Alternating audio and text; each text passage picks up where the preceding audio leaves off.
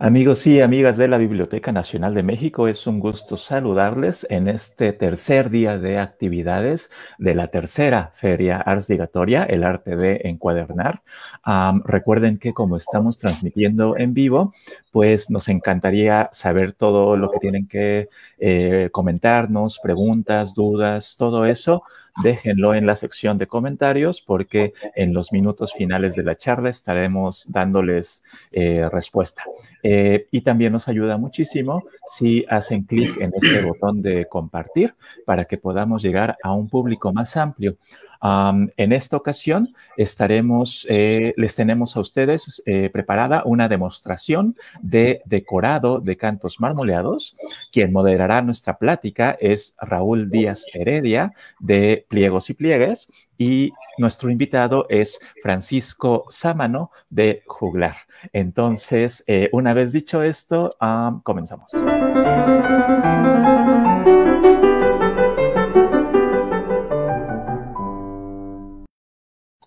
Excelente. Entonces, pues, eh, Raúl, escuchamos, te doy la palabra. Muchas gracias, Cuauhtémoc. Buenos días. Y buenos días a todos. Bienvenidos a esta tercera edición de la Feria de Arte Ligatoria. Les recordamos que esta transmisión está realizándose en vivo a través de Facebook Live del Instituto de Investigaciones Bibliográficas de la UNAM y eh, por la página de, de, la Feria Arte Ligatoria. ¿sí? Eh, pueden dejarnos sus preguntas, comentarios que ya iremos abordando con Francisco más tarde. Eh, eh, Francisco nos va a presentar un, video que, ha realizado muy interesante acerca de, del marmoreado de cantos, pero lo, ha, lo ha enriquecido un poco más con, con muchos tips, con muchas cosas respecto a al, mismo marmoleado, a la técnica del marmoleado. Eh, para mí es un gusto estar aquí con, con, Francisco, le doy la bienvenida y pues nos gustaría, creo que a todos, que, que se presentara, que nos hablara un poquito brevemente de, de, su taller y que presentara su video. Los dejo con él. Francisco. Hola, eh, me llamo Francisco Javier Sámano. Eh, Hace ya unos años eh, me dedico al, papel marmolado, a la encuadernación. Mm, mi proyecto en este momento se llama Juglar. En las redes me pueden encontrar como Juglar Creativo. Eh, de profesión soy diseñador gráfico, pero pues después de unos años de estar en el freelance y decepcionarme un poco y pelearme mucho con clientes, eh, le pegué más a, a, estar este, encuadernando. la primera, el primer acercamiento que tuve con el la encuadernación fue en, los, en los CECATIS. Se llaman Centros de Capacitación para el Trabajo Industrial. Eh, es uno que está aquí en División del Norte, el CECATI 13. Y pues bueno, allí este, nos dan una, un tipo de encuadernación muy, muy básica, eh, cierto es que este, mis primeros trabajos pues, no eran muy buenos, ¿no? y bueno, ya estando en la, encuadernación, eh, pues vino, vino el, momento de, meterse al decorado de papel. Ah, mm, la verdad es que yo nunca había visto un papel marmolado en vivo. Quizás el único del que tengo referente es el que venden en el Lumen, este papel feo que este, pues, porque realmente está feo. si de menos se dedicaran a, reproducir papeles este, bellos, pues no, no tendría queja, ¿no? Pero eso es lo que conocía del papel marmolado. Eh, años, años después, este, el maestro Raúl eh, tuvo a bien dar un, curso de, marmolado y pues de ahí para el real, ¿no? A, darle a la, técnica.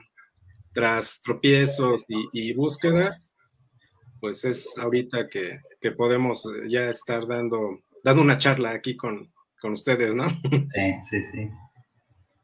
Claro, pues si te parece, eh, vamos a ver tu video que es eh, muy, muy, muy interesante, me parece muy interesante. Venga. Vamos.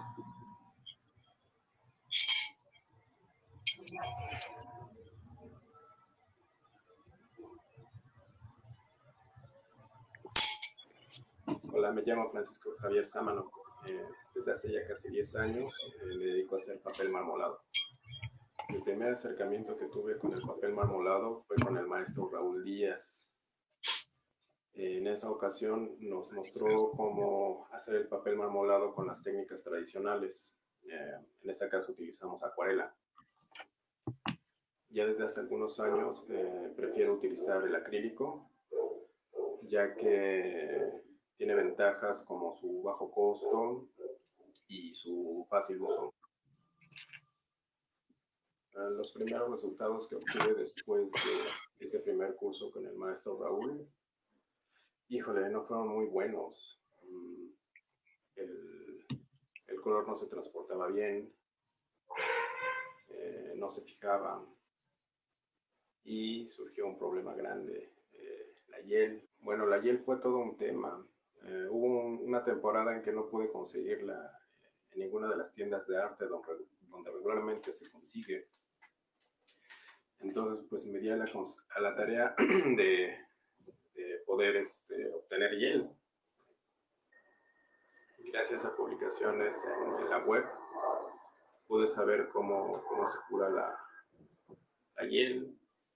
Entonces, pues el paso siguiente fue ir a, a conseguirla al rastro en esa ocasión el, el carnicero me, me, dio cuatro vejigas, aproximadamente de medio litro cada una.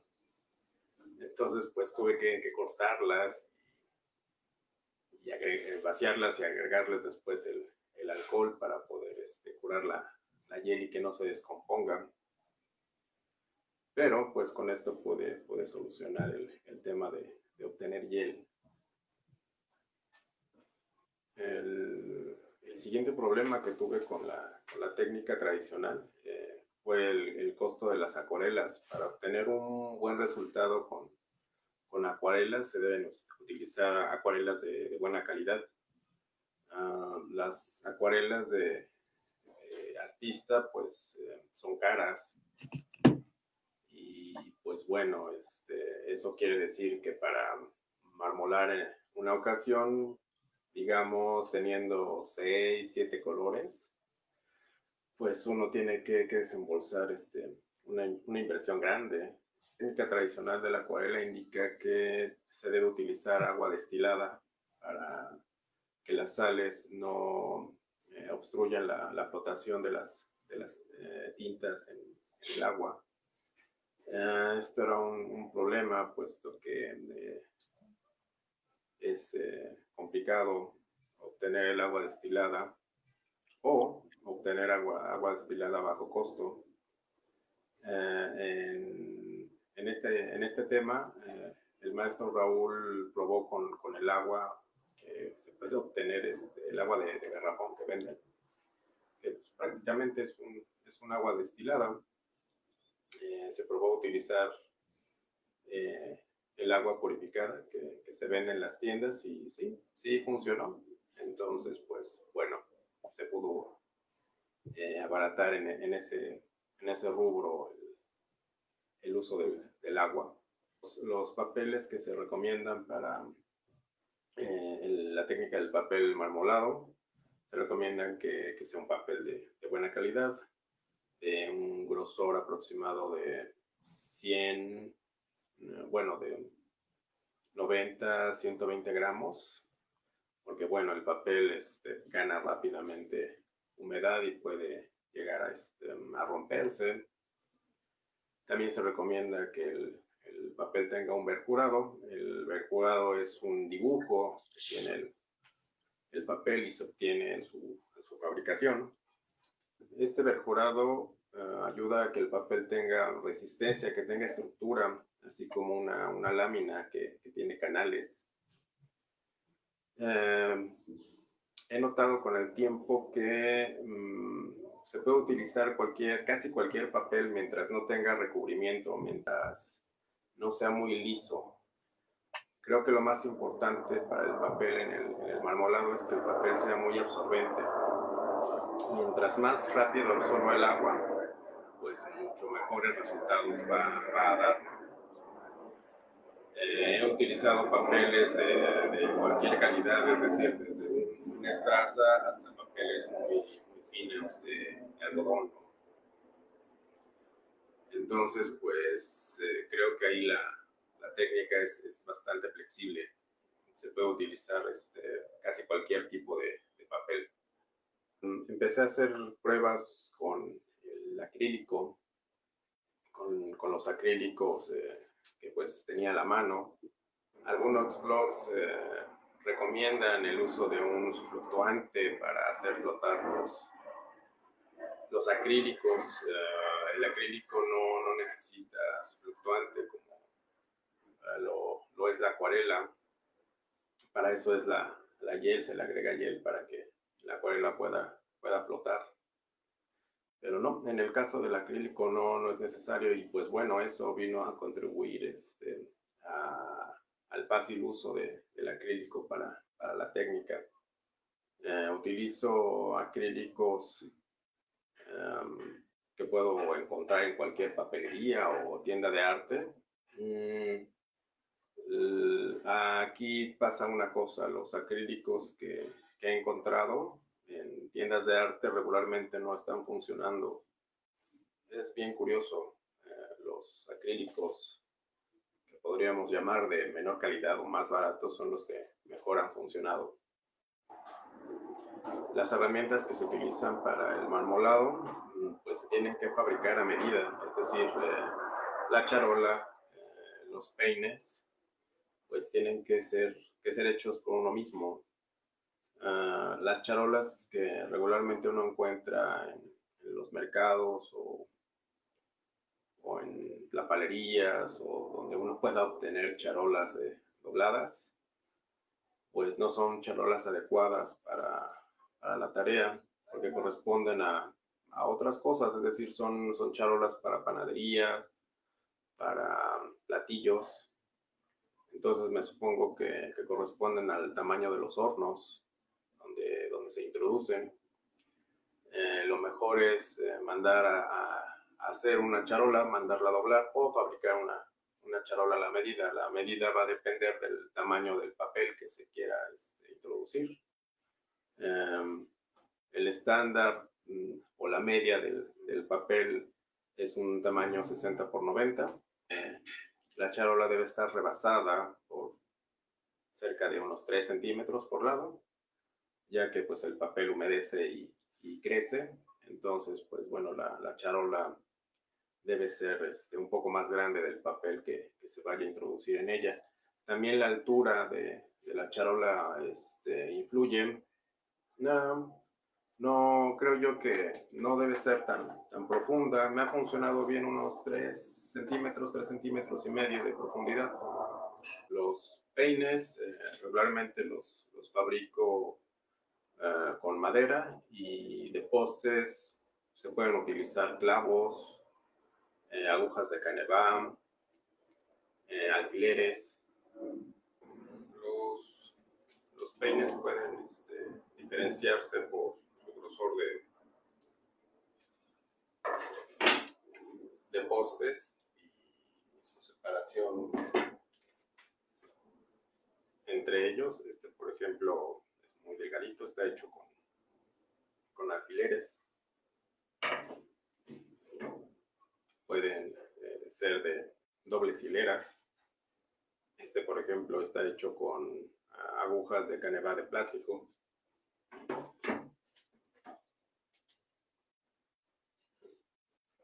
La goma que tradicionalmente se utiliza en el marmolado eh, es la carragenina, también llamado musgo irlandés. Em, en México es algo difícil de, conseguir. Entonces, pues se han utilizado sustitutos, em, la goma guar, la goma de metilcelulosa, que es la que, utilizo. Eh, la metilcelulosa es una goma de origen natural y puede ser conseguida en, droguerías y en tiendas de, insumos para, para pastelería.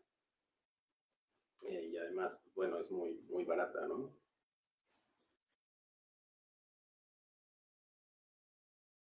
la goma se, se licúa para, para, romper los, los grumos que, que, se forman y pues bueno, se deja, se deja reposar de, de, un día para otro para que la goma esté libre de, de cualquier grumo. Los acrílicos se diluyen con, con agua purificada para evitar que se le, se le formen hongos o bacterias. Ah, puede, puede llegar a, a, oler mal con el tiempo si, si no se hace de esta manera, pero pues bueno, siguen sirviendo. Pero pues es mejor hacerlo con, con el agua, este, con el agua de garrafón, el agua limpia, ¿no? Para estarcir o, o distribuir la, pintura sobre la, superficie de la, goma, eh, se pueden utilizar eh, estiletes, palitos, escobillas, eh, goteros. Todo depende del, del goteo que uno quiera obtener, el tamaño de, las gotas que, uno quiera obtener. Por supuesto, pues bueno, esto ya, ya depende del, del gusto o de, de, lo que uno quiera, el resultado que uno quiera obtener en su, en su diseño. Una vez que se estarce la, la pintura en, en, la superficie de la, de la goma. Eh, con los peines se empuja la, pintura. Esto hace que, que, se estire y se creen este, los, los, patrones. Por supuesto, depende del, del número de, de pases eh, que, uno, que uno haga y del grosor de, de los peines, pues bueno, este, se obtienen los, los, distintos patrones. ¿no? Para la técnica tradicional de la acuarela, eh, el papel tiene que recibir una capa de alumbre. Se dice que el papel tiene que ser alumbrado. Y pues bueno, eh, esto en la técnica del de acrílico, pues no es necesario. El acrílico no requiere que el papel lleve alumbre. Entonces, pues bueno, eh, la técnica se fue simplificando. Eh, los pasos para obtener un buen resultado pues son, son menores. Mm, no se utiliza la, la hiel, no se tiene que alumbrar el papel. Los acrílicos son fáciles de conseguir, son baratos. La goma es fácil de conseguir, es barata el agua se puede obtener en cualquier eh, tienda de la esquina. Y bueno, siempre se pueden utilizar eh, refractarios o, o, charolas que uno, uno tenga en casa para empezar a, a marmolar.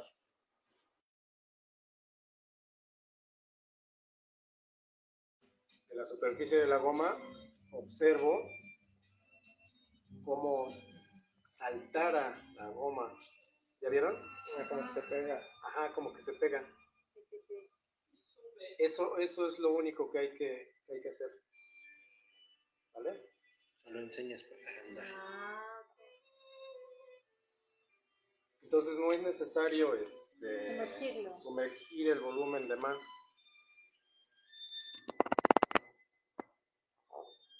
Más, cuando, cuando noto que ya eh, la goma dio ese salto, un trapo.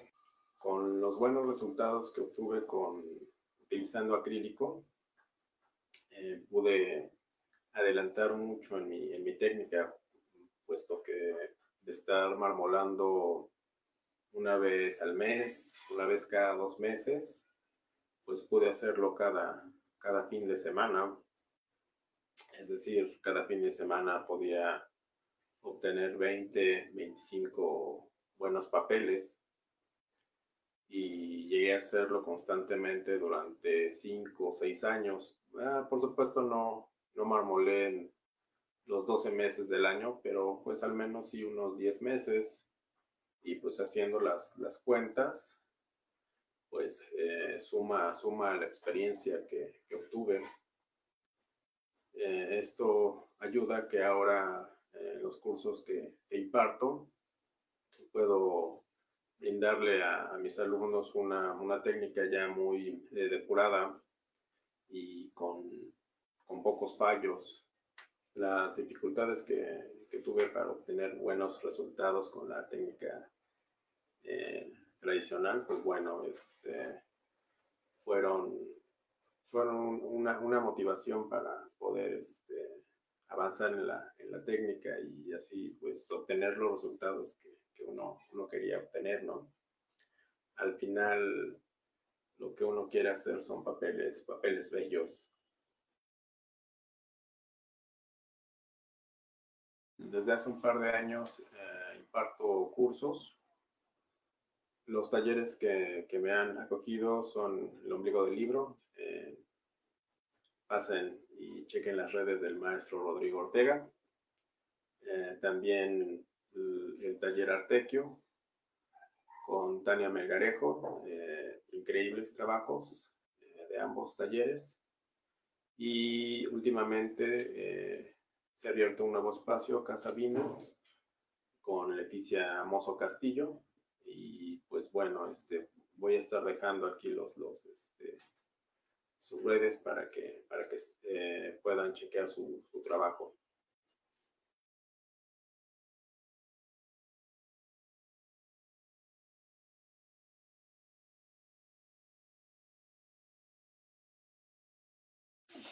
Pues en el curso lo que aprendí fue técnica, teoría y práctica. Me parece que es muy importante.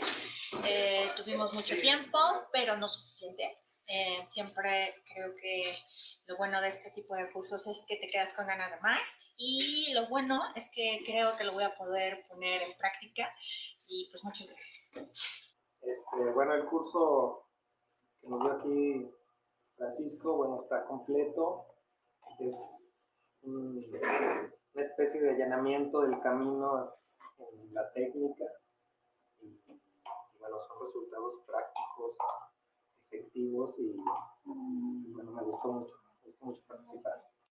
Bueno, a mí me encantó el curso porque, um, no sé, como que sí, bueno, yo dijo como que ves un poco de todo y como que te da posibilidades, bueno, de los materiales, de la técnica, de un poco de experimentar. Y la verdad, o sea, y como eso, es muy, muy completo porque además como que sales con mucha gama de papeles y colores y cosas. Entonces creo que sí está muy también. Y me gustó un montón. Hola, buenas tardes. Pues realmente la técnica que se imparte aquí con el eh, profesor Francisco Samano es una técnica muy sencilla en la que los alumnos ven desde su primer papel, empiezan a ver resultados y se empiezan a dar cuenta de lo fácil y lo sencillo que se hace la técnica una técnica que de origen tradicionalmente es una técnica difícil y complicada, no tan solo por los costos, sino por los materiales.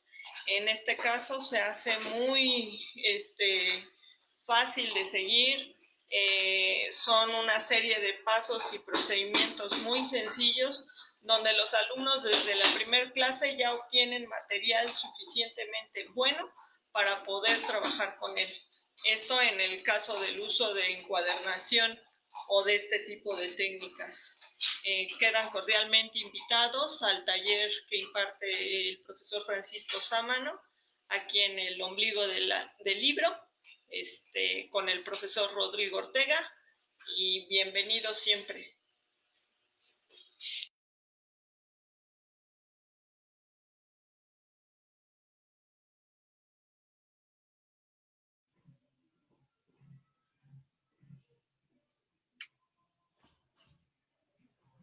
Genial, Francisco. Hombre, gracias. Estaba aquí leyendo el, el chat. Sí, eh, tienes, tienes saludos de Angélica Moreno, de Evelia Chavarría, eh, de Judelia Espejo, de Noemí Caballo o Caballo, eh, de Nela River, Riera y de Luis González, entre hasta ahora. Hay unos comentarios, por ejemplo, de Leticia Mozo, nos dice, eh, yo me preparé con el profesor Francisco Javier Romano Garduño y la técnica es verdaderamente sencilla y des, desde la primera incursión hubo resultados muy buenos y se puede ir a trabajar por los resultados. Ha hecho esta técnica eh, tan compleja, la tradicional con materiales modernos y fáciles de conseguir, que tienen resultados muy buenos y bonitos. Agradezco la constante preocupación eh, del profesor Francisco para hacer cursos fáciles, entretenidos y con excelente resultado. Y bueno, tenemos por aquí una pregunta de Leticia Mosul Castillo. Te pregunta que si tendrás cursos próximamente. Uh, este próximo fin de semana en el, en el ombligo del libro, no es curso como tal, va a haber una sesión de práctica. También es parte de, de lo que hacemos. Eh, damos este, regularmente los cursos y de vez en vez proporcionamos este, sesiones de práctica, es decir, este, les doy el, el, material ya dispuesto para que uno llegue y, y marmolee. Sí, claro. De repente a mí me gustaría así, ¿no? Que tuviera un, un umpalumpa que me preparara todo y yo llegar y... Ese es el sueño dorado de todos, ¿no? Que eh, Nela Riera te, bueno, te comenta que, que, que wow, que qué preciosa técnica, ¿no? Eh, hay otro comentario, estos comentarios. Eh, eh, saludos, Francisco. Gracias, saludos. Conocimiento, eh, tu, tu conocimiento, ¿cuándo te animas a hacer un taller de serigrafía? ¿Me avisas? O sea, sería, cosa, sería cosa de organizarlo también, este, hago serigrafía, lo aprendí en los Ecatis. Ah, mira. Aprendí, aprendí el, eh, la técnica del offset, por supuesto Ajá. se necesita una máquina offset para, para hacerlo, pero este, aprendí la encuadernación, el offset, la serigrafía Ajá. y este y esta cosa para hacer los, este, los positivos, que se ocupa una camarota, ahorita se me fue el nombre, pero también. Ah, sería, sería, cosa, sería cosa de organizarlo para, pues no sé, hacer, hacer papel este, para guardas, eh, imprimir tela para forrar libros, algo aplicado a la, a la encuadernación. Sí, claro, claro. Eh, te, te, te, debo algo más. Es una pregunta de una lejera. Dice, felicidades. No entendí si se sustituye la hiel con metilcelulosa. No. Eh, lo, que sus, lo que sustituí fue la, la goma primero. Eh, menciono que tradicionalmente se utiliza la carragenina. Y pues el, problema fue que pues, por acá no, no, se consigue tan fácilmente, ¿no? Entonces eh, se utilizan sustitutos, la goma guar, y yo estoy utilizando carboximetil celulosa. La hiel es, para, es un subfluctuante para hacer flotar las acuarelas, en el caso de utilizar acuarelas. Los acrílicos no necesitan ya la, la hiel. Lo, lo, comenté al principio como los problemas de la técnica base, de la técnica tradicional que utiliza acuarelas, pero ya con, con el acrílico no es, no es necesario utilizar hiel. Claro. claro. Eh, más saludos de Luis Frank Calderón, Jorge Manuel Lerdo de Tejada, eh, de Blancano, de Ninfa Alvarado, de Hugo Hernández, todos conocidos, ¿no? Sí, sí, sí, la banda. Ajá. Dice, uh, vamos a ver otra pregunta de Mestre Becerril Serrano. Eh, se aprecia cómo las técnicas se van actualizando y van adaptándose a lograr resultados geniales y sorprendentes. Una pregunta, ¿cuál goma recomienda y qué punto, qué punto se coloca? No entendí. ¿Qué punto se coloca? Ya, yo creo que va la pregunta del cómo se prepara, ¿no? Ah, este, ¿Qué goma se pueden utilizar? Pues la, la goma guar y la, mi estrella, que es la carboximetil celulosa eh, esta se, se este, como vieron, se tiene que licuar para romper los grumos que rápidamente se forman. Y la proporción es de, para empezar, es de 3 gramos por litro de agua. Y, este, y de ahí, de, dependiendo qué tan viejita esté la goma y, o qué tan espeso uno, uno quiera eh, la goma para los resultados, pues uno puede ir aumentando o disminuyendo la cantidad de este base de, de, goma por litro, que son 3 gramos, 3 gramos por litro. Y queda un, una consistencia parecida a la de una clara de huevo. Creo que es lo más, lo más parecido que he encontrado a, a, a la densidad de, de la goma para, para, empezar a marmolar este, con facilidad. Sí, sí, sí. Yo lo ubicaba más con el aceite. Mm, sí, también es una densidad algo parecida, sí. Sí, tienes una pregunta de Hugo, de Hugo Hernández Anaya, que él comenta, nunca he marmoleado y siempre me he preguntado cómo es que el agua no deforma el papel cuando se marmolea un canto. Ah, también este es, ha sido controversial porque si aprecian, em, no, no utilizo este, los cartones que, que resguardan el volumen. Eh, algunos maestros te recomiendan, eh, fabrica unos cartones eh, menores de uno o dos milímetros del, del tamaño del, del, volumen, ¿no? Entonces, que se, se emparede el volumen y se pongan las prensas. Hay muchos videos que lo muestran así. Sí. Y entonces ya sumergir el, el canto del, del, volumen.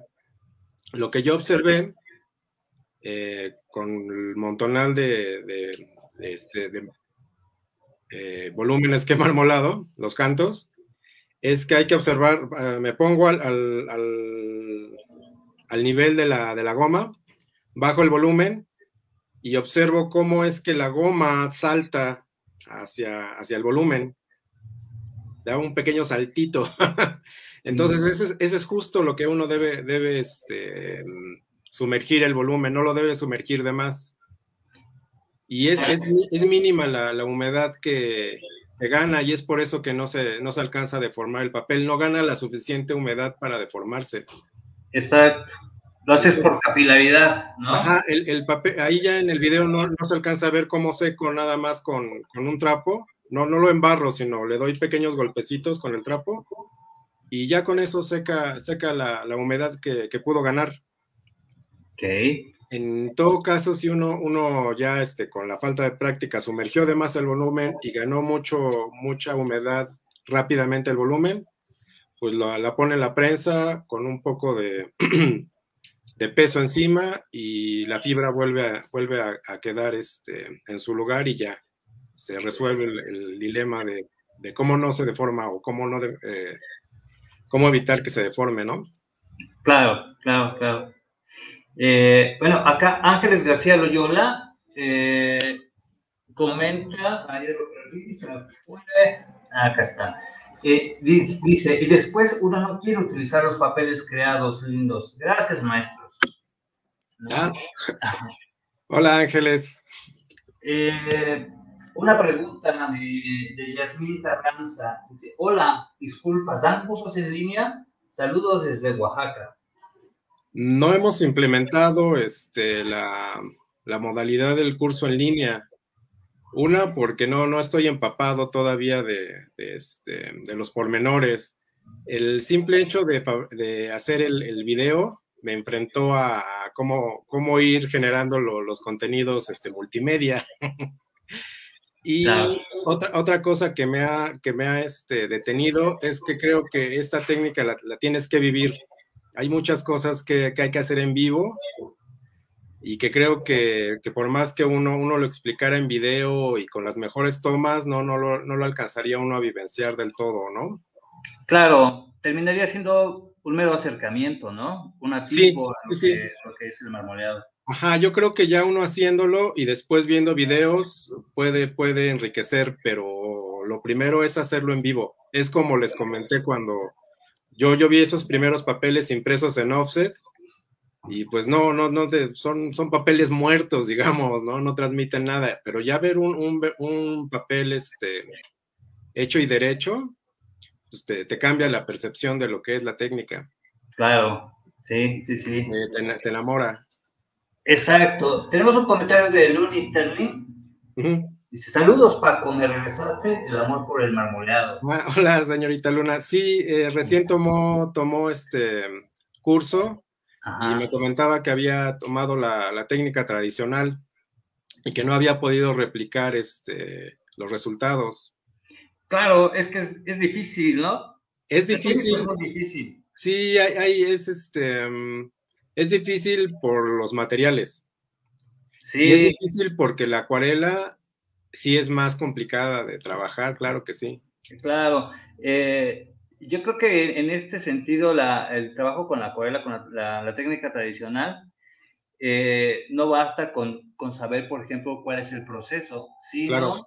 eh, la práctica. Necesita muchísima práctica para poder dominar desde el preparado de, de- de líquido del baño, la- el preparado de las pinturas. Cada, cada, cada pigmento necesita como una cantidad de agua distinta. Sí, cada, cada pigmento demanda Y distintas. también la cantidad de hiel que demanda es distinta, ¿no? Entonces sí es una técnica difícil. No, y además es más susceptible a la temperatura. Sí, claro. Claro. Oye, te ves, te, te ves en discoteca. Sí, tengo fiesta acá en el taller. Los invitaría, pero con esto de la pandemia no, no, no se puede. Eh, pregunta de Angélica Moreno. Eh, ¿Me repetirías la goma que utilizas, por favor? ¿Y dónde se puede conseguir? De repente ahí se cortó el audio. La pregunta fue, ¿qué goma utilizo y dónde, la, dónde se consigue? Exacto. Ah, la goma se llama carboti- carboximetilcelulosa. Eh, se puede conseguir en eh, droguerías. No digo este, lugares porque pues no hay sponsor, ya sabes. Exacto, sí, sí, sí. Este, pero bueno, en, en estas boticas o este, mm, donde venden insumos para la pastelería. Sí, también. Ahí este pueden conseguir ya sea la goma guar o carboximetilcelulosa. También la, la conocen co- regularmente como CMC. Ajá. Este, si uno, uno no llega a la droguería, este, bueno, llega uno a la droguería pidiendo carboximetilcelulosa, le van a entender, ¿no? Los son químicos los que, los que a uno lo atienden. Pero si uno llega a lo- donde los insumos de pastelería te van a decir, no, yo no vendo esas drogas, ¿no? Claro, Ah, claro. pero, pero tiene CMC, sí, sí hay CMC, de esas sí vendo. Sí, sí, sí. Carboximetilcelulosa o CMC. Ok. Ahí de repente, el, el, por ejemplo, hay gente de, no sé, de alguna parte del- de la República Mexicana o en el extranjero que de repente quieren comprar ya sea cualquiera de estas gomas, ¿no? Pero se torna muy difícil porque, porque puede, como es un polvo y es muy parecido, por ejemplo, a la cocaína, se presta mucho a, a malos tratos, ¿no? A malos entendidos y hasta a problemas legales, ¿no? Tenemos un comentario de, de Luis González. Dice, agradezco enormemente al máster. Es fabuloso y ya sabiendo esa técnica es sumamente sencilla. Desde el primer papel te emocionas. Y hacer los penes es toda una aventura. Técnica muy práctica y sobre todo muy económica. Felicidades, maestro, y a todos los organizadores por esta oportunidad. ¿no? Hombre, Eh, pues gracias, gracias. Esto, esto es algo que, que a mí me llama mucho la atención, ¿no? Por ejemplo, yo, yo he seguido tu, tu evolución en torno al marmoleado y ver cómo, cómo se va simplificando, ¿no? Paso a paso. Yo traté de simplificar algunas cosas en la técnica tradicional, Ujú. lo has llevado todavía, ¿no? Simplificando algunas cosas. Por ejemplo, recuerdo mucho cuando se estaban haciendo las pruebas de la hiel, Sí, ¿no? Este, cuando te pusiste a hacerlo en la cocina, a hervir la hiel, y Sí, quedó sí, el olor tremendo ahí, ¿no? Pues sí, sí y no, es decir, es lo como lo comenté, ¿no? Este, cada, cada tropiezo fue, fue un aliciente. O sea, en vez de que, de que el fracaso fuera, fuera este, un obstáculo, pues no era, era un, este, un motiv- un- una motivación. Y Exacto. sí, la, la Yel fue, fue un, un- un tema. Y pues bueno, una vez superada fue cuando ya no, no, ya no la utilicé. Entonces, pues Claro. quedó, quedó como anécdota y quedó para, para, este, para el anal de- del conocimiento. Sí, yo la sigo usando. Eh, la que se quedó, de la que preparabas, la, la sigo usando yo por acá. Y recuerdo muy bien que las primeras pruebas que fueron con, con hiel eh, lifolizada, li- hiel seca, ¿no? Y la hiel seca también la, la venden en droguerías. Y sí, este, pues es que era, era parte de la lógica del pensamiento, ¿no?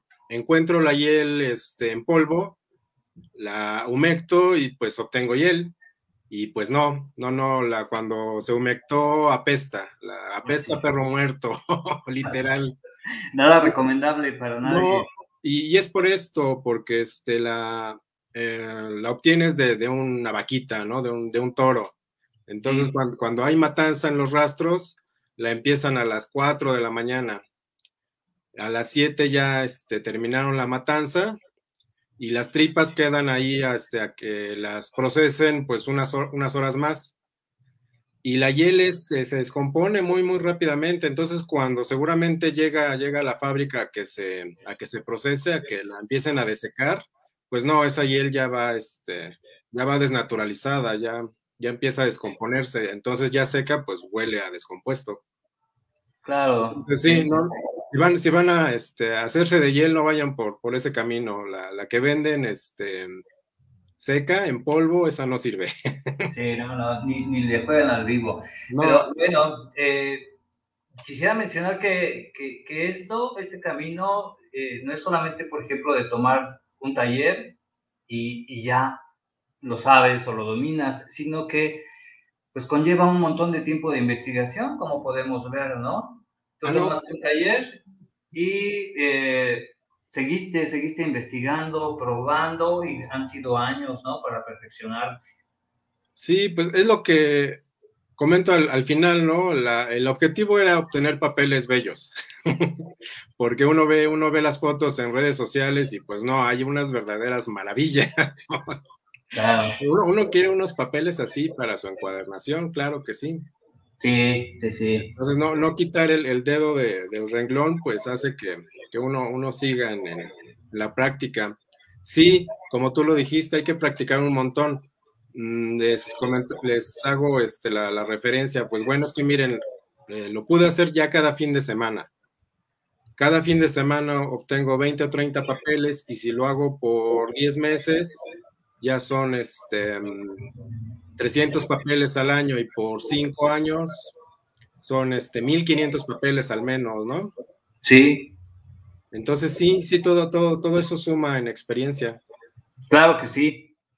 Pues mira, casi se nos está agotando el tiempo, pero quisiera eh, mencionar algunos saludos que te están dejando de Alicia Portillo, de Ili de la Cruz, de Patricia Moreno, de Jorge Luis Jiménez, de Ceci Buenrostro, ¿no? Eh, parece que nos están viendo alrededor de 80 personas en vivo ahora y queremos recordar que este, esta, esta charla y el video obviamente van a quedar van a quedar grabados en, en Facebook, en el Facebook de la, de la página de obligatoria, así como en, en, en YouTube, ¿no?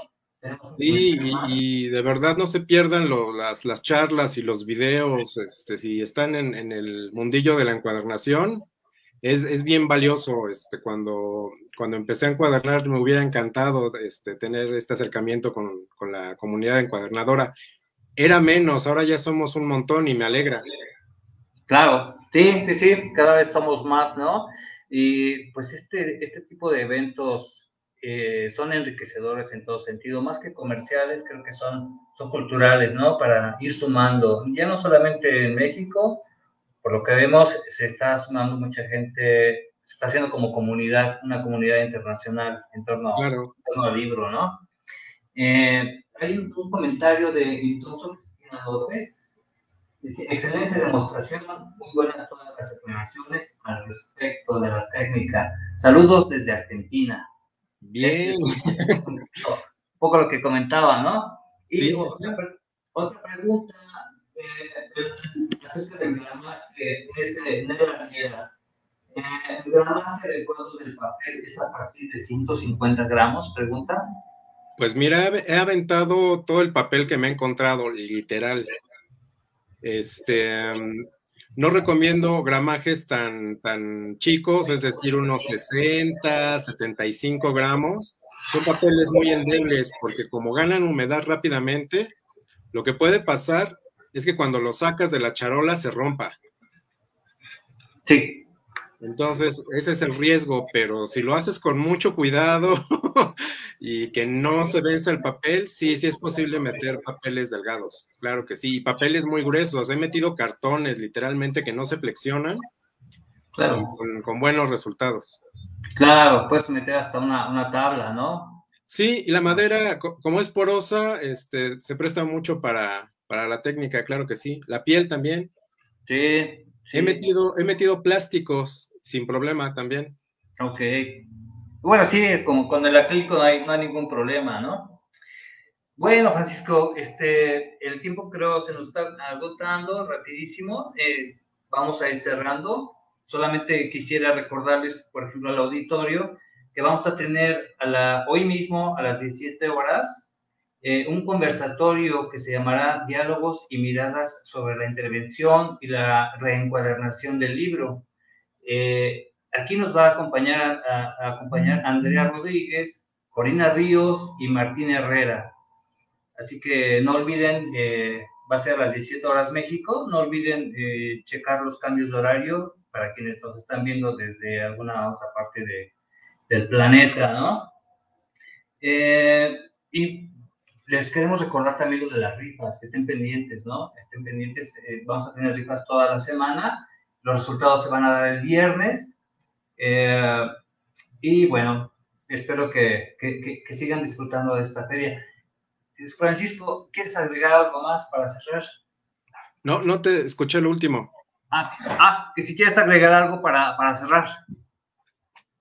Pues ahora sí que pues sigan marmolando, sigan encuadernando, que eh, la técnica, bueno, las técnicas son técnicas vivas, es decir, este, hay una tradición enorme tras, tras este, el oficio. Vaya, pues este es parte de, de la humanidad propia, ¿no? El libro nos ha acompañado desde, desde que somos humanos. Claro. Y pues bueno, este, quedo, quedo a sus órdenes. Cualquier pregunta, eh, estoy viendo un montón de preguntas aquí en el chat, pero este, escríbanme en, en, este, en mi Instagram y con gusto les, les, este, respondo. Juglar creativo. Juglar, sí, sí, sí. Pues muchísimas gracias, Francisco ha sido un, un orgullo haberte tenido por acá. No, al contrario, el honor es mío. ¿No?